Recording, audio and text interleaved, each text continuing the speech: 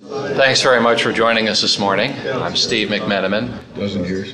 I'm your host for today's event, which is part of the ongoing series of the Greenwich Roundtable. Our topic this morning, Contemporary Perspectives on Investment Policy, will hopefully uh, shape up to be a modern classic. Uh, there's not much I can say except that we've managed to persuade two legends to join us today. And as always, the views of our speaker are their own and don't represent the view of the roundtable, its staff, or our trustees. Charley Ellis literally wrote the book on the subject. Uh, first came Winning the Loser's Game, uh, and then came Investment Policy. Uh, he's the chairman of the Yale Endowment uh, Investment Committee and a passionate advocate for investor education. Peter Bernstein has written many books, all of them outstanding. Uh, his contributions to the profession speak for themselves. Uh, Peter continues to blaze trails in uncharted territories, and we're grateful he shows no signs of throttling back. Uh, Ted Seides is the moderator of the roundtable today. Ted runs the investments for Protege Partners after spending some time in the Yale Investment Office. Please welcome Ted as he sets the table. Thanks, Steve. Uh, this morning is particularly fun and, and personally rewarding for me. I have known Charley and Peter literally my entire professional career. Uh, we share a very deep admiration and intimate knowledge for the Yale Endowment, which, as you know, is the institution generally synonymous with the modern application of investment policy. Outside of Dave Swensen, I don't think there are two more prominent people in our community that know more about the inner workings of the Yale Endowment. Charley served on the investment committee for know, probably two decades and has chaired it for over one. What's less well known is he was the motivating force behind David Swensen writing his first book, that among other things grew David's name to become from David Swensen to the aura of Dave Swensen. Uh, what's even less well known is Charley is an important factor in why I am here today about, I guess, a little over 10 years ago, Charley found out I had been put on the wait list at Harvard Business School. And in a way that only Charley could say, he approached me with words I don't think I'll ever forget, which, uh, which was send me your essays. This week better than next week. Today better than tomorrow. This morning better than this afternoon. And within a week, I was admitted to Harvard. So it is indeed with deep respect and indebtedness that I listen to his words today. To the extent that the Greenwich Roundtable seeks to revive the lost art of investment storytelling, I think Charley probably created it. He is indeed a master storyteller.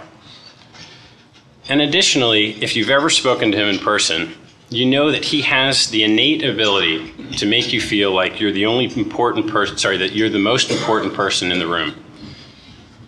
And that's true even if Warren Buffett and Ben Graham himself were standing behind Charley at the time. I heard about Peter Bernstein probably a little over 15 years ago from a guy named Peter Brodsky, who at the time was a close friend of mine from college and happens to be Peter's grandson. Soon thereafter, I was introduced to him professionally by Dave Swensen when I saw an off white colored piece of paper called Economics and Portfolio Strategy on, on David's desk, to which he said, Yes, this was written by a very smart man which were pretty important words when you're 21 years old. Uh, in the midst of Peter's prolific book writing, in 2003, he wrote a piece in that very newsletter entitled Are Policy Portfolios Obsolete? Now, next to the words subprime mortgage, the words market timing are probably the most blasphemous in Dave Swensen's view of institutional investing. And I'm sure we'll get into today some of the premises uh, from which Peter evolved a thesis that questioned the, the success of policy port portfolios going forward in, a, in an era of low expected returns. If you haven't read his newest book, Capital Ideas Evolving, I would strongly suggest you pick it up. And in particular, the chapter he wrote on the Yale Endowment is probably the most insightful words I've ever seen in print getting to the next layer of understanding of how Yale executes its investments. For all of Peter's accomplishments and his brilliance, what I have long most admired about him is his genuine warmth and humility as, as a person. He is indeed a wonderful man. Charley, want to lead us off? Sure. Uh, I'd like to start with a confession. Peter Bernstein and I are both deeply in love with the same woman, his wife. and you'll understand when you get to see how charming a person he is that I've never introduced him to my wife and I don't intend to. We're supposed to be in strong disagreement, so I'd like to slip in a little bit of agreement before we get into serious altercation. First, a strategic portfolio with rigorous rebalancing on a systematic basis is a truly great idea. The reason it's a great idea is it obliges those who would be the investor or their committee representatives to do some very serious thinking in depth about investing and investments, about long term experiences in capital markets, as disagreeable as they sometimes can be, long term thinking about institutional or individual priorities. What do you really, really care about and why? And what is the mission of the money? That's terrifically important. Any great rule should have some exceptions that prove the rule, and the exceptions are that deviations, rare and rigorously developed, deviations do pay off. Now, there are some who've misunderstood Peter really quite profoundly who would suggest that Yale doesn't believe in this sort of thing. Uh, we've done a little bit of a statistical analysis to find out whether we believe in it really or not, and we find that we've been able to add something over 1% per year compounded by doing minor, rigorous deviations which would prove, for those of you who are interested in a more social interpretation, that a small amount of sin is considered a good thing.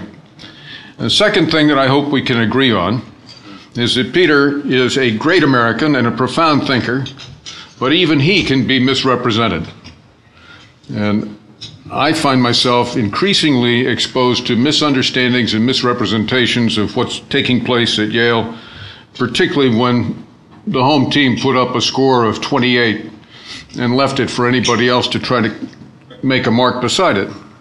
Uh, you may not have thought about it quite this way, but I would like you to at least give a moment's thought to the possibility that David Swensen now has the worst and most difficult job in the investment profession, maybe ever, certainly currently.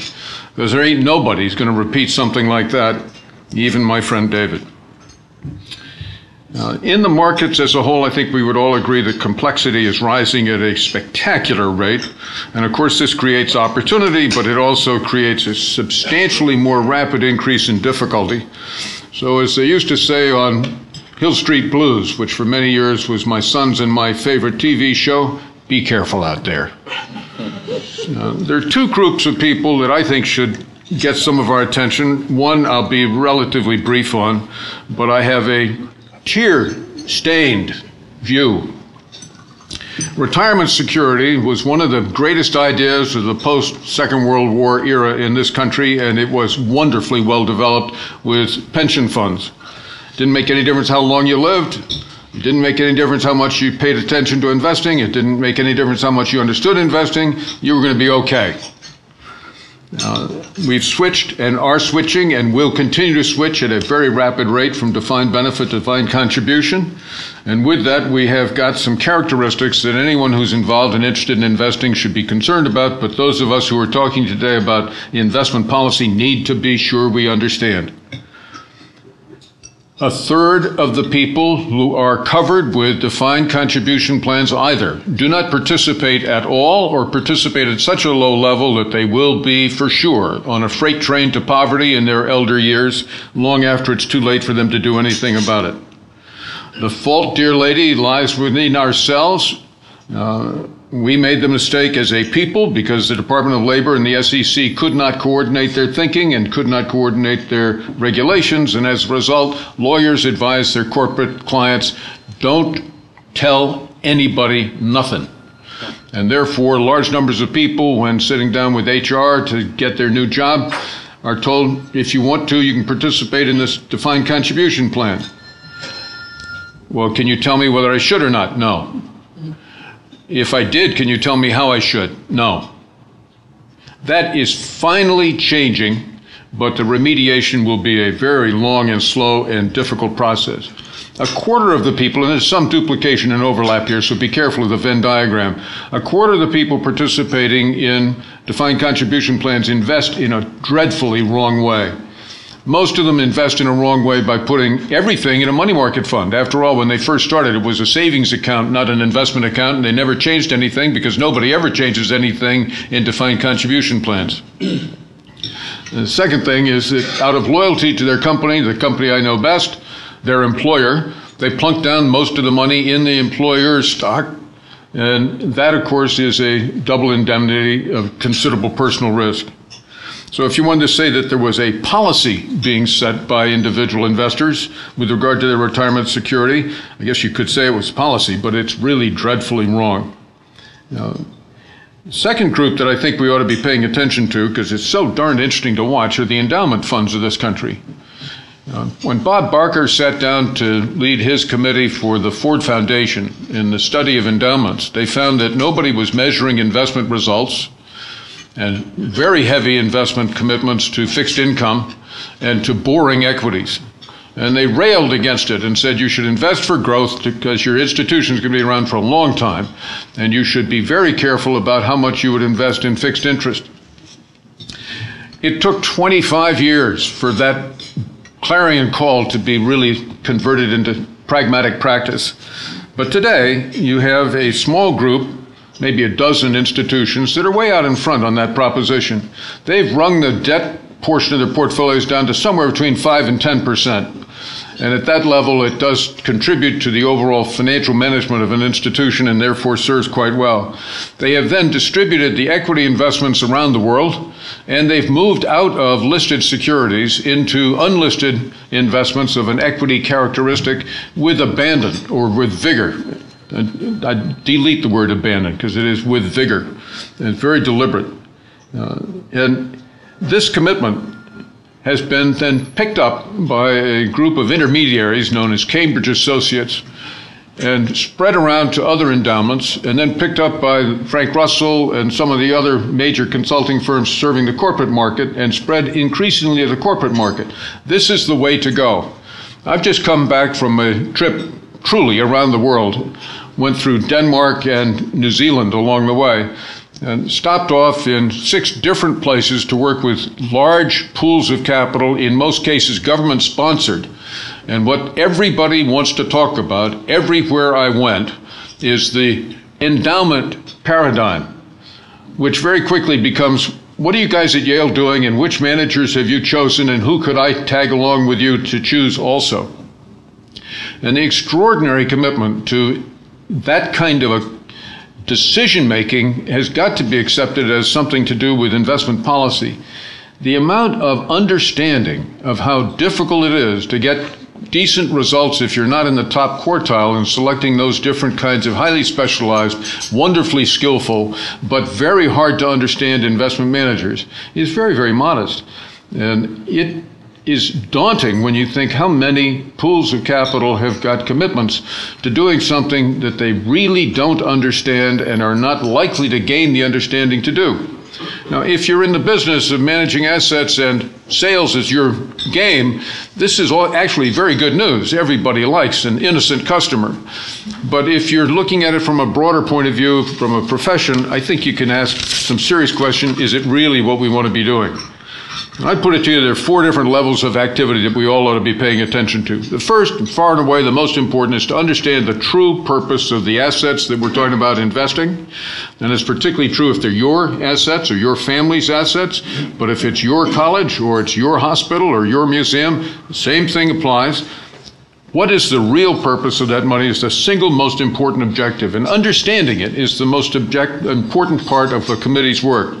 The second most important thing is to get the structured portfolio, the strategic portfolio, in place so that you really understand what it is you're trying to accomplish and how you are going to be able to accomplish it on a realistic basis. The third objective is to do no serious harm. Don't do nothing wrong. The fourth objective, and notice it is the fourth objective, is getting a better rate of return than the other folks. The better rate of return than the other folks has gotten way too much time and attention, and it is leading people away from focusing on what they really ought to focus on. Uh, so I would like to put it to you that one of the best things that's ever been done is to stimulate Peter to come here this morning and to rail against this simple proposition that I have been told I had to speak first so he could have a field day showing me where I was wrong. I couldn't ask for a more wonderful person to tear me apart. Have fun, Peter.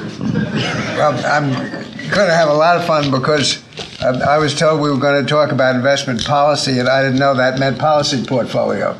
So I prepared quite a different talk, which I'm inclined to put aside. I may pick uh, bits and pieces from it because I, I would like to address some of the questions that Charley raised. But who can disagree with 95% of what he said? I'm with him all the way. Um, I'd like to begin with just a, a, joke because I thought this was so funny. I read it the other night, and it, you, will all understand it. Um, I read a book called The Lady Upstairs, which is not as salacious as it sounds. It's a, a biography of Dorothy Schiff, who was a Kuhn Loeb Schiff, and for many years was the owner of the New York Evening Post. Anyway, um, her, her brother ran Kuhn Loeb after her, her grandfather died, uh, Jacob Schiff. And um, somebody came there and, and was asking questions about the place and said to someone, How many people work at Kuhn Loeb? And the answer was about half. uh,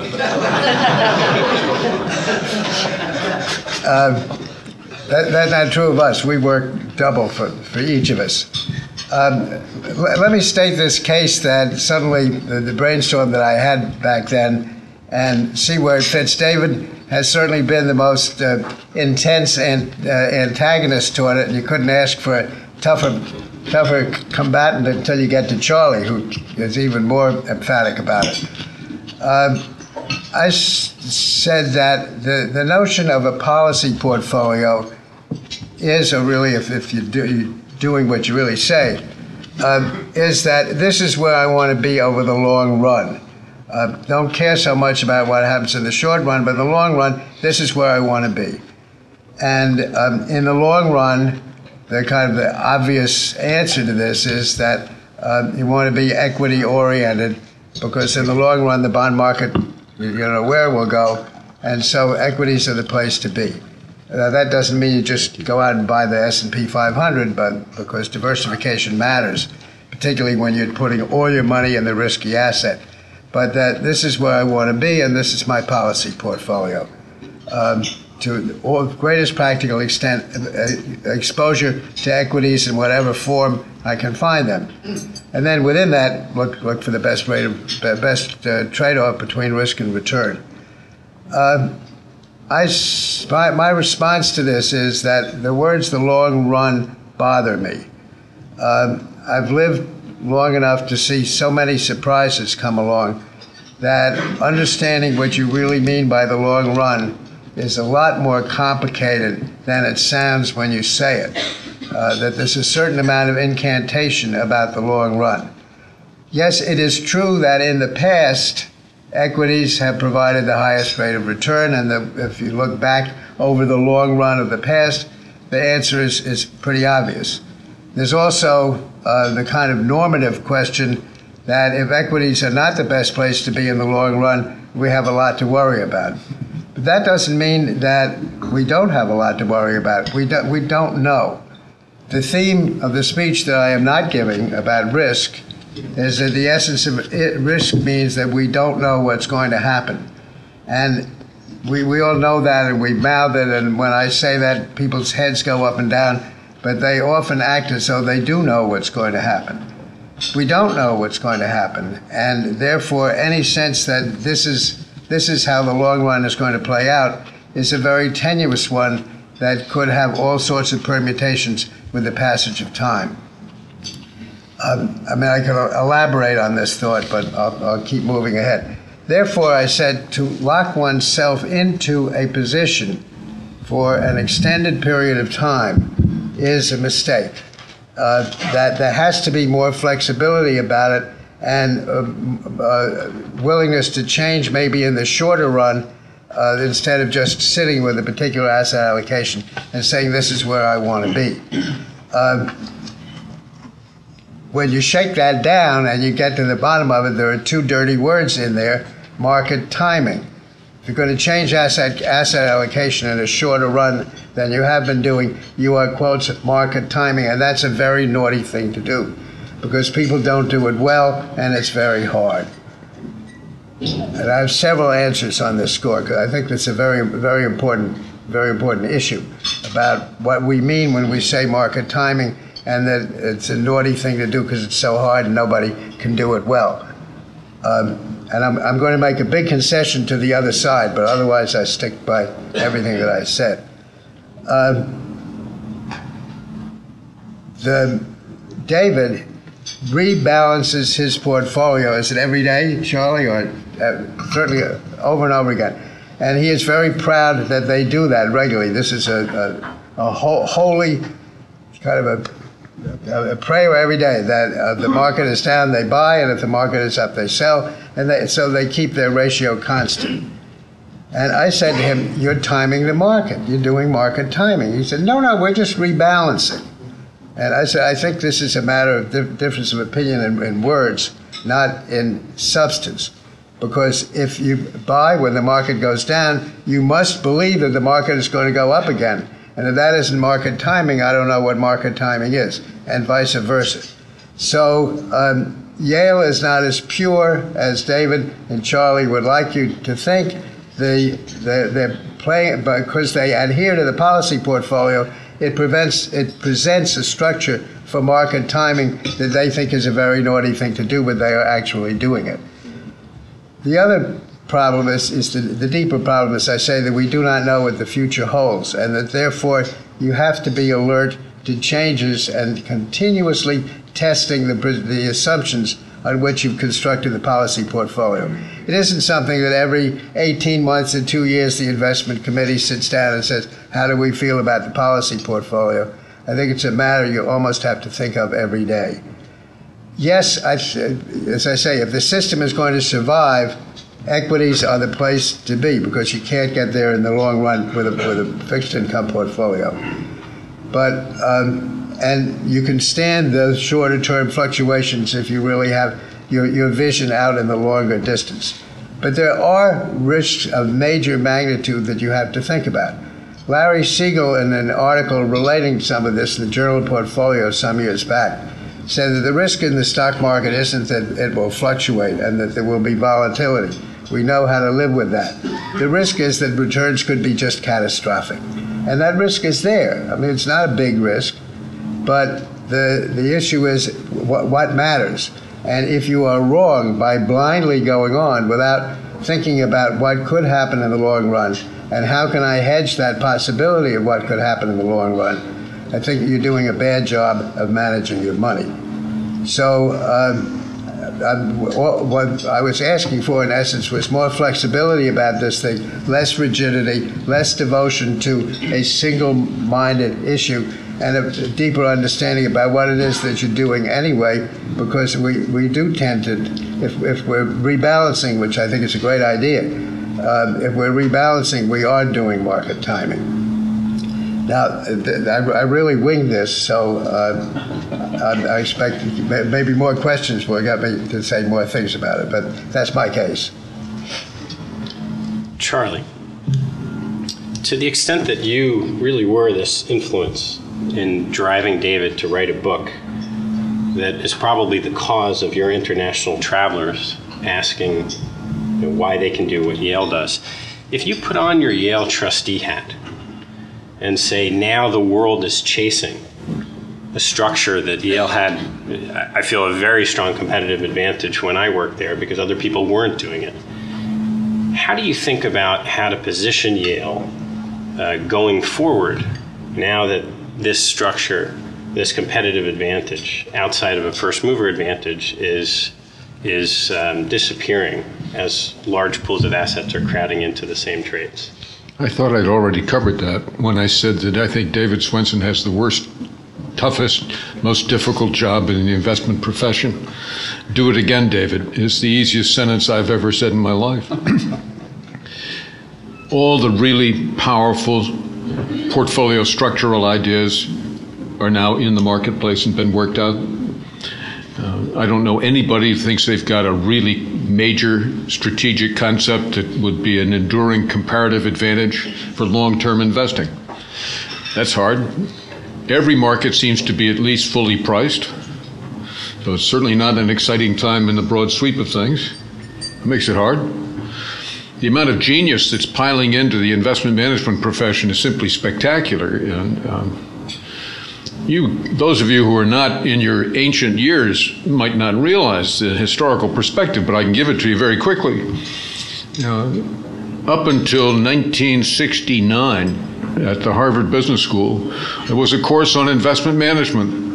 It was taught by a very distinguished elderly professor who took as his case materials the personal trust department of a regional bank located in Boston and a Miss Hilda Heald who had various personal financial needs from time to time and engaged in correspondence with her trust officer and that was the case material. The course went from 11:30 to 1 o'clock and as you would imagine it was called by the students by its appropriate name, Darkness at Noon. Nobody went into the investment management business when I graduated from business school. There were two guys that were at the very bottom of the class who went into the trust business, but they didn't go in the investment business. Uh, there's been some changes made. And I think all of us should be aware of the fact that there's a lot of really smart cookies who've gotten into the investment management business. And when you go out every day to compete with those really smart cookies, they're ready. I was intrigued to find out that not only has the volume of trading multiplied a thousandfold since I first arrived in New York City, you know, solemnly intent on serving the long term economic interests of the Rockefeller family, as though they needed help. Uh, but I did need a job, so we got along fine. Uh, derivatives are larger in dollar value than the cash market. So a thousand times in the cash market, and then derivatives multiplied by whatever number you want to.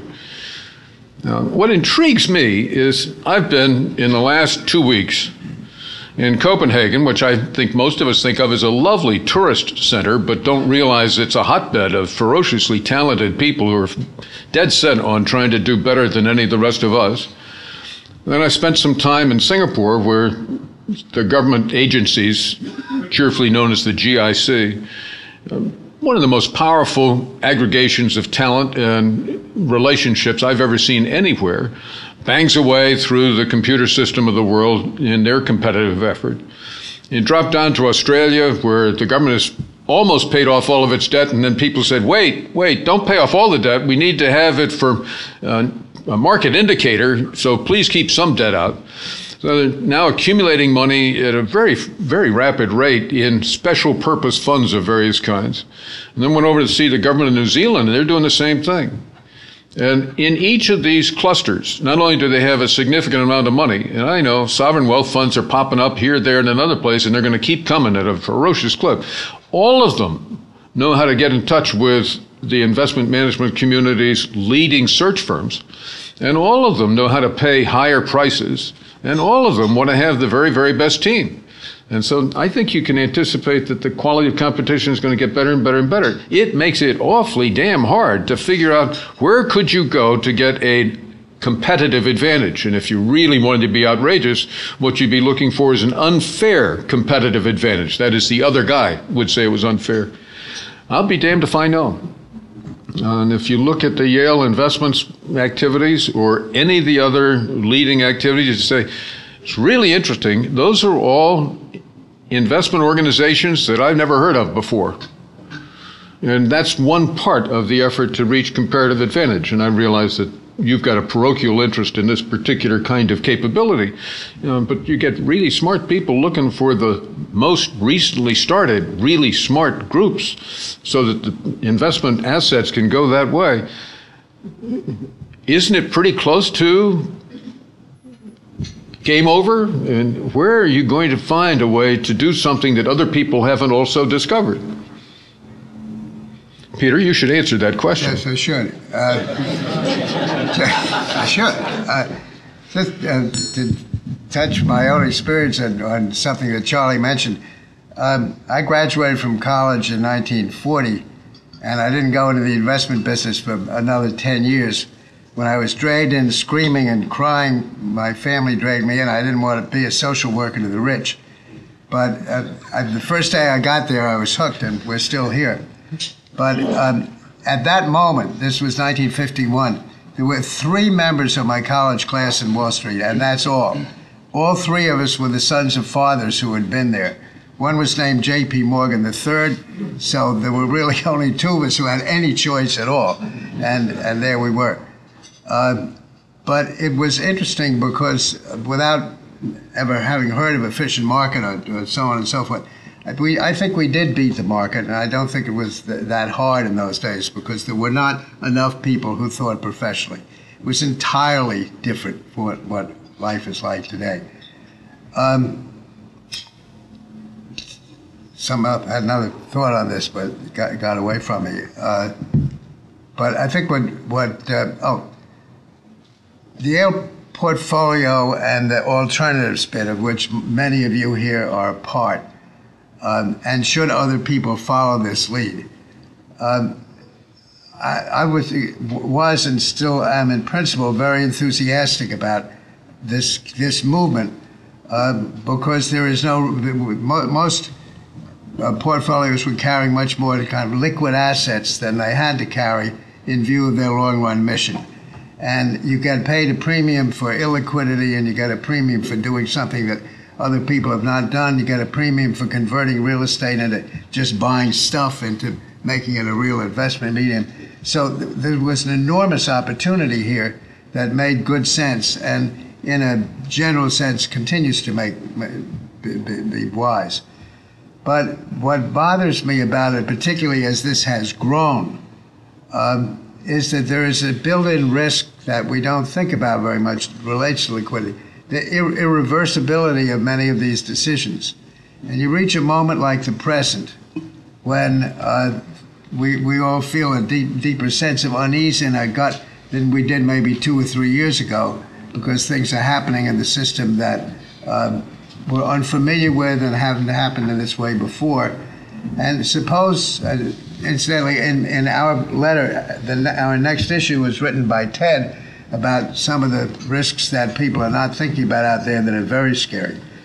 Um, if the stock market, is a consequence of this, or the bond market too, is going to take a, a real header and present an enormous buying opportunity, but our policy portfolio says X amount in, in the alternatives. Um, are we going to be able to take advantage of that? Because it would be nicer just to own stocks and all this alternative stuff which takes so much monitoring and care and and um, it, and difficulty of execution. Um, are, are we locked into this stuff and, and can't take advantage of other kinds of opportunities? I think this is a serious matter to think about when looking at policy portfolios and how much is devoted to the alternatives.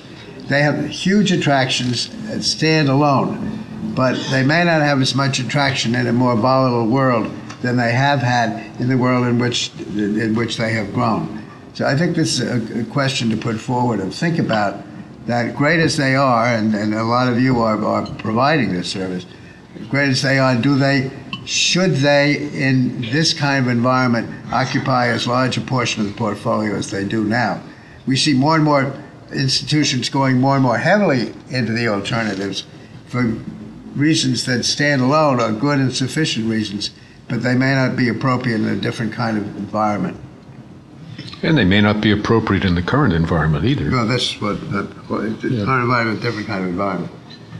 Peter, if, if one of us is sitting on an investment committee, and as a premise, we agree that going forward, traditional asset class returns may not be as attractive as they were in the past, and we're nervous about the structure of a long term policy portfolio, how do you start to think about executing with those premises to create something that might do better in a different environment going forward?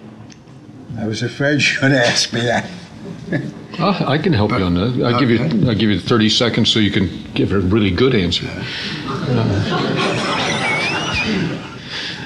It's just astonishing to me that we will, here we are all over again, Ted. We're coming right back to, yeah, but let me, let me tell you, how can we beat the market? And how can we get a higher rate of return? And I think that's fine, but I, um, two different analogies, one of which is appropriate, one of which is not. Um, two people, a man and a boy, are playing frisbee in London in Green Park. And an Englishman comes along and sees them and watches and watches. And after a while, the frisbee lands on the ground, and it's okay. He's not breaking up the game. He goes over to the father and says, um, "Sir, may I ask you a question? Who's winning?" A totally inappropriate question to frisbee, and inappropriate alternative would be if we were to discuss personal sexual habits and who's having the most fun and the most satisfaction. Most of us are quite curious about that, but we don't do more than once in a while, maybe every five or ten years, browse through a magazine that surveys that says 83% of people are deeply satisfied, and so on and so on. Why do we give a damn? It doesn't make any difference compared to. Are you doing what really matters to you? And I would like to confess, I have happily married my I'm happily married to the most interesting woman I've ever known by a long shot. And she is clearly the very best friend I've ever had. And I'm enormously indebted to her for her generosity of saying, What the hell, I only got one life, so one I wasted on you. Uh, it's a wonderful, wonderful privilege. So, half a dozen years ago, I had after one of these wonderful conversations with Peter, I had made a commitment of about 80% of whatever I had into emerging markets. I said they've got hell in a handbasket. Uh, I spent a lot of time in Southeast Asia. I think that's a wonderfully exciting group of people. They work very hard. They'll figure out some way, somehow, to make this all work out, and they'll be forgiven for their past sins. This looks like a hell of a great opportunity. And Linda asked me, kind of casually over dinner, and what are you investing in these days? I said, Oh, God, you'll love it. I'm investing in the emerging markets. And she said something like, You mean all those funny countries with those funny companies that I never heard of before? And I said, Well, that's one way of describing it. And she said, Well, those, that, that savings that you're talking about, I really need to know I can count on that in the future, and it makes me uncomfortable. I said, Well, sweetheart, equity investing at its very finest is always uncomfortable. That's a test that you're really doing the right thing long term. Now she said, I don't think you understand. I really don't feel comfortable. So I, being a sensible fellow, sold out of emerging markets investments and sidestepped one of the great runs of all time. Most of most of my friends would say, You poor dumb son of a bitch, you really screwed up on that. And I say, Yeah, I know how you feel about it, but actually, you might consider the possibility. I'm still very happily married to the same woman. And that's my priority. And I think it would do us all a lot of good. Instead of tinkering around with could we beat the market or could we keep up with Sam or Joe or Alice, it would be a wonderful thing if we said, Are we doing what really serves the purposes that we care the most about for our particular investor or our investments or our beloved institution? Then, in most cases, there's a terrible disconnect between what's being done and what is really needed. It's not that it's dead wrong, it's just there's a disconnect, and there could be really great communication. And um, I think the quality of communication is inadequate to the task, but it's not all that hard to change. Speak up. I mean, I can only hear, absolutely. I think we give this lip service, what Charley just said, but uh, are not not very attached to it in practice because peer pressure is so great that if you don't look like Yale, you know, you're some, some kind of a schlumpf. You haven't heard what's going on in the world. But maybe Yale is, is not appropriate for you. Um, it's very hard to, to do these things and very hard to stay with them. Um, way, way back in the late 1960s, um, we had a, a, a, broker I knew who was very, for, especially for a broker, very thoughtful man, came and he said, I want to do something with my investment committee. And I'd like you to come along and kind of give it your, your blessing, because maybe they'll go along with it. Uh, this was late 1960s. He said this was a charity, and he said our endowment fund is very small relative to one year's budget. It's really just a drop in the bucket. Thank you. And I think we should go out and shoot the moon with it, because if we lose it, we're not really going to. I mean, everybody's going to be mad and sorry and screaming, but it's not really going to make any difference. Whereas if we can be, shoot the moon with it and really get someplace, it can make an enormous difference. So this appealed to me very much, and I went to the investment committee with him, and we sold the idea. That was in 1968 and 1969, fully recognizing that this was a, a, a foamy period, but nevertheless, let's get started. And the next year, 1970, the market went down. The investment committee met, said, "This is the end of this. We can't stand it." But they were wrong. They didn't understand that the loss was not important uh, to the committee, to the fund as a whole, and they should be doing it. So these kinds of thoughts that we express don't necessarily mean that you have to be very conservative. You have to be very conservative in the kind of environment Charley is talking about. Sometimes investors take too little risk and should be much, much more aggressive than they are. Uh, but because the, the peers are not taking those kinds of risks and you might be caught wrong and alone, they don't do it.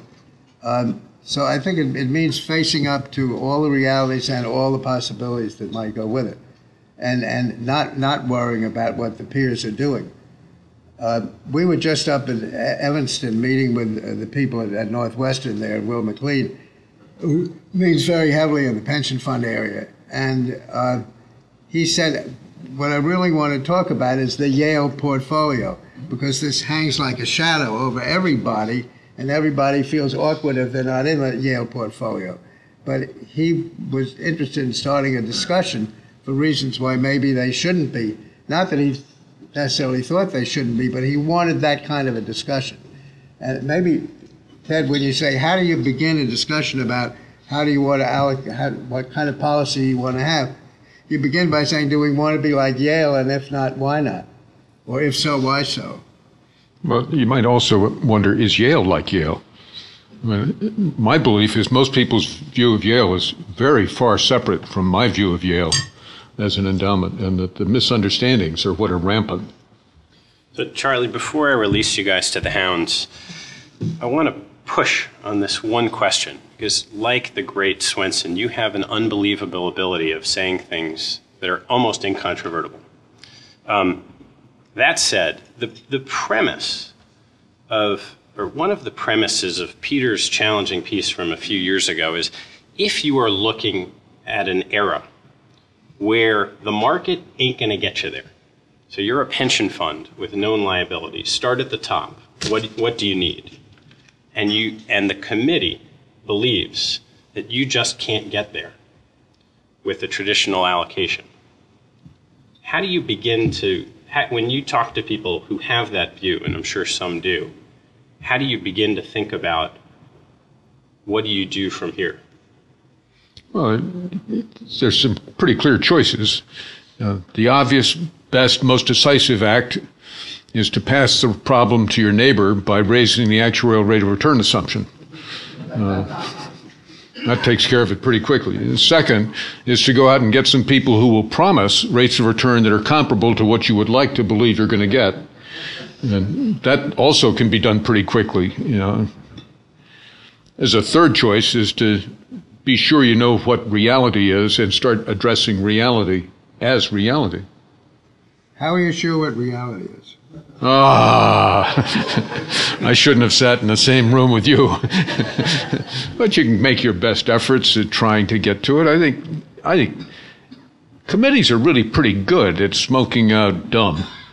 And if they are carefully chosen and the climate within the committee is open for straight discussion, I think committees are pretty good at sorting out bad misunderstanding and reasonably good at getting to a inaccurate but roughly right central expectation. I, I, I'm, I'm okay on that. Charley, Charley, let me take recent experience in a perspective. Um, Goldilocks was, I uh, use the last past tense, but Goldilocks was kind of a fantastic environment in which all the pieces seemed to fit together. The globalization process, the technological process, the, the public policy process, um, they all kind of fitted together. And so one had a sense that this was an environment that was probably low risk, that nothing bad was going to happen because it, just seemed the pieces seemed to fit so well. I think this was a valid case. And therefore, it was an excuse to take on higher levels of risk, each of us individually, because we were living through a low, low risk environment. So when you say what's the reality, the reality is Goldilocks is a, is a wonderful and very solid environment in which the risks are low. So let's do, let, you know, let's, let's play some games here. In the, this process of everybody being willing to take on more risk, and we see it in the narrowing spreads in the in the fixed income markets what was actually going on. Um, the environment ceased to be low risk, but actually was building up a, a, a, sequence of things where it was high risk, and then we run into what happened this summer. Uh, I, I, don't don't think reality is either is that hard is that easy to to describe, or one has to recognize the Hegelian thing that um, each each regime kind of leads to another one endogenously because people take advantage of whatever regime is and thereby change it. So we don't have stability of regimes. And this is, again, what worries me about the policy portfolio, which implies that regimes, either regimes don't matter or that uh, regimes are in place for a very long period of time, when in fact this endogenous process is always at work so that no regime is going to be in place long enough. So finding finding reality is hard because it's slippery. It's, it's dynamic. You bet. Questions? Yeah. Um, Charley Peter, if I had one question to ask, I'd be happy to waste it on this group, so I will ask. Uh, we, we go around talking to the, yes, the sovereign wealth funds, Charley, and they ask about Yale, and Northwestern asks about Yale, and somebody today will probably ask about, can you do what Yale does? Um, the observation is it's a little dangerous because the governance and investment policy needs to be very strong to maintain that type of investment program. I'm not sure those organizations would be able to stay the course. They probably will get out of emerging markets right at the uh, inflection point. And as a corollary, aren't we in a world where we've gone from a shortage of capital 10, 15 years ago to an excess of capital? And it was the economic impact of the businesses and the sectors and policy on the part of the government that impacted in the shortage of capital world. Now we're in a world where there's excessive capital. It's the actions of the investment organization, these large pools of capital, which start to affect the market. So risk, Peter, the complexion of the way we think about risk, and the Hegelian example you get, does, don't we now move into a different sort of paradigm in the way we think about our portfolios? Yes. I'm going to take advantage of what you just said because I, I, do think you really did say it correctly. Uh, I'm going to complain a little bit, I guess. I, when I follow you around talking to all those sovereign wealth funds that know you, respect your judgment, and they ask about Yale, I'm astonished at what they really have in mind. What they have in mind is the rate of return they'd kind of be willing to do some of the work that goes into developing the structure of the portfolio, and they'd be willing to do some of the work that goes into selecting investment managers. But they have no idea how the work is actually done, and they're not anywhere near prepared to do it. I give you, for an example, the most important single characteristic of the successes that Yale has enjoyed, and I think it's a wonderful thing for the America and the world that Yale is having this very positive experience. But the most important factor is love. Uh, men don't say words like that casually, so let me say friendship. Uh, the number of individual people who are really smart as the dickens and very well connected who would dearly love to be helpful to David Swensen and his team because of how they have benefited over the years from their communications back and forth with David. Simply astonishing. And it goes all the way up to the movie star ranks and all the way down to the beginners. Now, there are thousands of people who think very, very favorably of the idea if I ever had a really good idea, I know where I would like to take it first. Not to get some economic advantage for themselves and not to do anything other than to say, thank you, David, for what you're doing, and to see if their idea is as good as they think it is. Second thing that and, I can't overemphasize how important the informal scuttlebutt network. It is simply spectacular. How many times Yale has been able to avoid harm by someone saying, "Well, actually, in this particular instance, I wouldn't do it." Because one of the guys in that group just isn't up to your standards. Or the number of times that somebody said the integrity isn't quite as pure and perfect as you guys like to have it. Now, that access to subtle insight from truly knowledgeable people widely is simply spectacular. And it is a crucial part of the comparative advantage.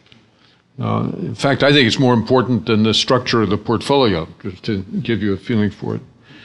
The second thing is how well the investment office at Yale has done at coordinating and integrating its work with the university. I'd like you just to imagine if you were the chief investment officer of endowment for a large university and you had a view along this lines, what would you do? And I'll give you two choices.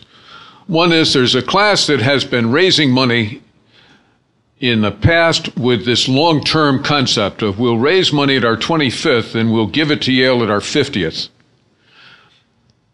And during the 25th to 50th era, those 25 years, we're going to put the money in the hands of a real gunslinger who is right out there on the frontiers of danger all the time.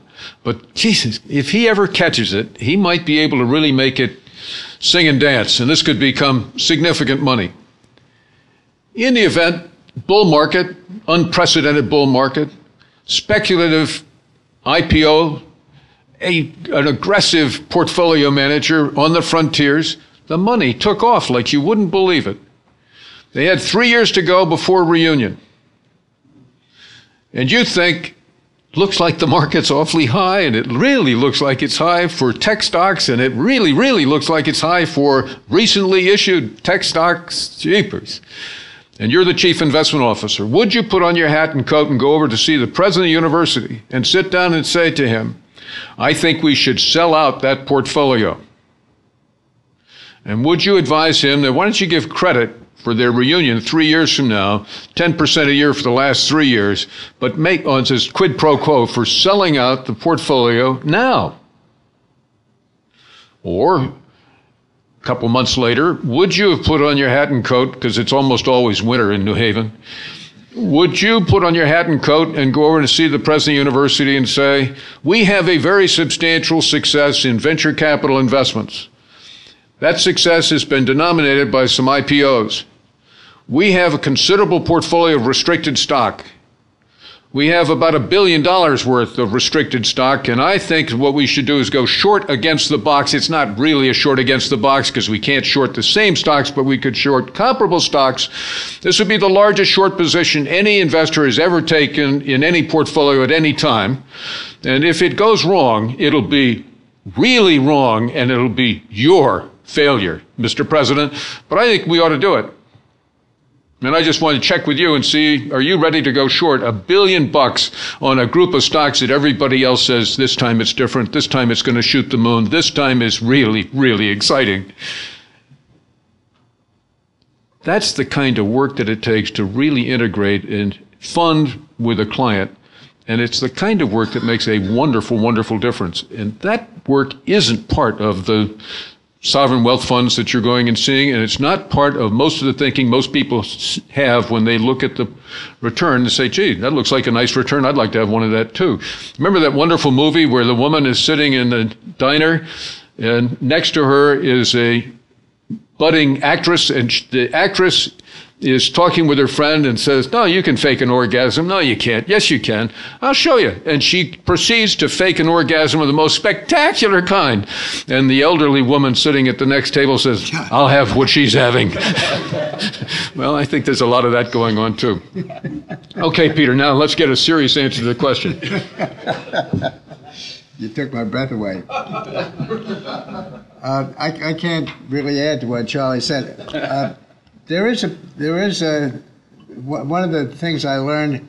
I learned two things writing against the gods. My book about risk. Uh, that uh, they're very simple, but I find very helpful, and Barbara and I use use a lot. Um, one is uh, when one of the Bernoullis wrote Leibniz. Uh, he said, "We know this is I've forgotten around 1600." We we know how to uh, maybe a little later than that. We know how to figure the odds of throwing a seven or an eight with dice, but we don't know how much longer a man the life expectancy of a man of 20 is compared with a man of 60. So I'd like to take some pairs of men, 20 and 60, and see what happens and figure the probability, the, the life expectancies. And Leibniz wrote back and said, you know, that's kind of a good idea. Nature does have certain patterns that repeat but only for the most part. That no model has an R square of a thousand, and uh, that you have to think they they ain't no sure things. The other one is Pascal, who was trying to figure out whether God is or God is not, and he figured you, you can't answer this question. You can't wake up one day and say it's, it's this way or that way. But you have a choice of living as though God is or God is not. And suppose I live as though God is, and so I live a life of virtue and abstinence and pass up some of the goodies. Uh, and then I die, and there is no God. So I was wrong to have been so abstinent, so led such a careful life. But it wasn't so bad, nothing awful happened. On the other hand, if I live a life of sin and lust, and I die, and there is a God, I'm in big trouble. So, I mean, what, what uh, Pascal is really saying is that consequences are more important than probabilities. What, what happens if I'm wrong? Does it matter or doesn't it matter? In the case that I was telling of the charity, if they were wrong to go into that, those, try to shoot the moon at that point, it didn't really matter very much and they should have done it. But there are many other cases where if you're wrong, it's catastrophic and you shouldn't have done it. It's, it's a very useful sieve to put many decisions through it in life, and we use it a lot. Yes, sir. Sure. Uh, first of all, it's a pleasure to listen to two living legends. I had to chuckle when you mentioned Mr. Bernstein, 1951. There was a fourth guy that started his uh, career. It was a big Brooklyn Irish Catholic. It was my father, Jack McCarthy, who used to run Ward Avenue. He had a pretty good career. Uh, two questions. One, um, Jay Hughes, an author, has talked a lot about families, the cycle, a long-time cycle. I was curious, as taxable investors, a family, uh, with issues around spending, burn rate, taxes, could you talk a little bit about your notion of policy portfolio risks from a taxable investor point of view with some of the issues, as opposed to the endowment hat that you've worn? And then Charley, specifically on, picking up Michael's point on sovereign wealth funds, currencies. Uh, was there any discussion when you went around the world about currency risk? We have 65% of the world's reserves in dollars, 24% euros. But that whole currency, dollar devaluation, is a huge thing facing right now. There's been a discussion about that. Yeah, the last question is somewhat easier to answer. There's a lot of discussion, and the consensus is broad and deep. Dollars going down. Uh, those of you who our foreign exchange experts will know that that's often an indication that most of the harm has already been done. Uh, those of you who are Democrats would think I told you so. Those of you who are Republicans will have your own reservations. Uh, but there's a very broad sweep. The second thing, which I think is much more important, is the enthusiasm for learning about nations other than North America are rising rapidly, and the alternatives are showing up alternative markets to look at. And I believe that share of mind is a terribly important pre-ante to share of pocket or share of wallet, and that we will see a diversification away from the U.S. capital markets by other pools of capital all over the world. If I can pick up on what Charley said, Uh, the dollar thing, to me, is a, is a perfect case of Pascal's wager. Um, I don't know whether there's going to be a dollar crisis in which there's a run on the dollar, but I do know that if there is, that's the mother of all crises, and therefore I think that it has to be hedged. Um, I'm not the kind of guy who recommends gold, but it, this kind of fits the thing. There, if there are big risks, even if they don't materialize, I, you guys don't have to tell you guys, have to be hedged, and I think that one has to be hedged, um, the, because the consequences would be so enormous.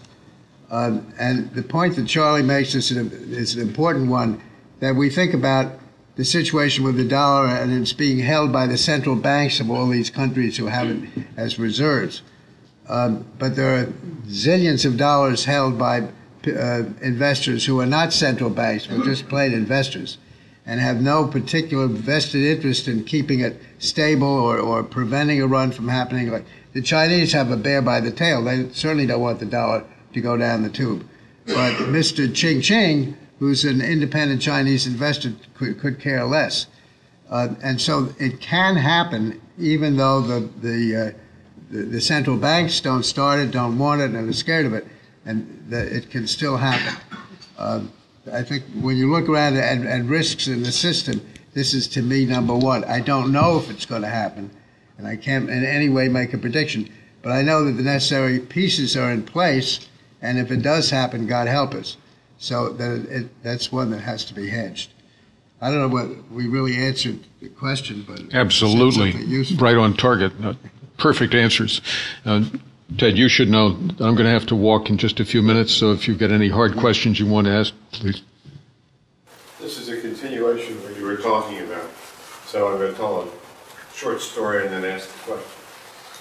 Let's say an individual uh, had a million dollars and called his investment advisor. He says, I'm going away for five years, and I come back and we know how I did. He did that. He Came back in five years. He was so anxious when he got on the land. He uh, the phone, and the operator said that would be $3 million for the next two minutes. So let's assume you kind of believe that may be where we are.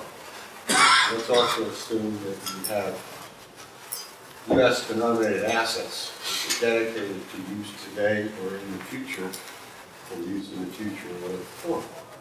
And since the variation of what you may have to use those assets for could be so wide, what would you suggest as your strategy to uh, cope with? I think all of us know that you just asked a much better question than the answer is going to be. Uh, a million dollars has some particularity to it. Most people would find that that's a, enough so they could spend that within a reasonable time period. So I, I would take the assumption that it's not really long-term money that you're talking about, but next 10 years. It's gonna, you have a pension. Yeah. Same problem.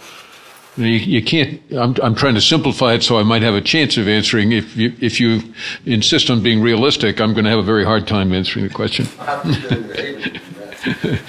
Uh,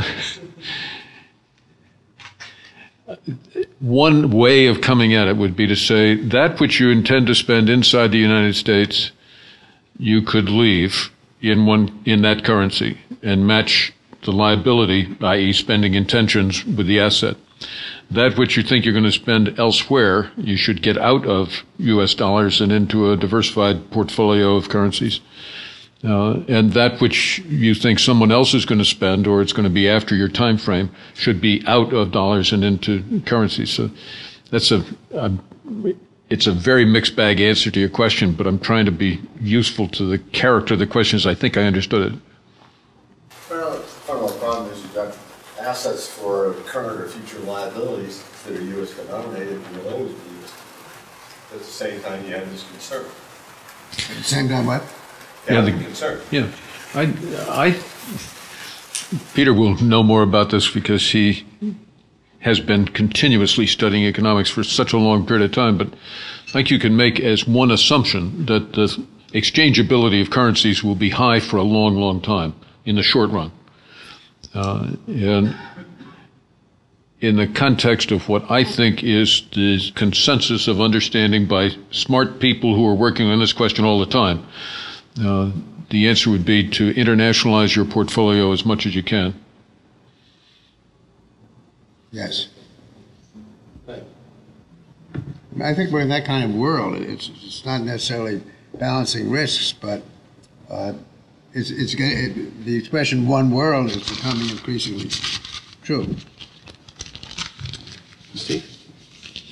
Thanks, Ted. We're going to, we're going to wrap this up. Quick announcement. We've got um, the programming committee meeting here in this room immediately after Charley and Peter leave. And um, I want to encourage everyone to subscribe to Peter's newsletter. It's really very, very good, Next issue, Ted Sidus. And it will support the home team. Uh, For those of you who um, don't understand the seating, we're trying to work this out and to the best of our ability. Uh, Just by way of um, rules of the road, members of record sit on the in- inner ring. And where's Vaso? Vaso, raise your hand if you would. Vaso is um, in charge of the care and feeding of members. So if you would like to sit anywhere special, do let Vaso know or me know, and we'll put your name tag there. Other than that, um, I have really not much else to say. And it, what I do would like to say would be to thank Kevin O'Brien, who's sitting to my right. He has um, gone out there and spreading the good word that he hears in this room to all the colleges and pension funds in smaller towns across the country. We're very grateful for that. Kevin, would you like to say anything? It was just, no, it was just fantastic. Thank you, though. Yeah, thank you. I agree. And thank you. Charley, thank you, although you're not here, and Peter, once again, great job.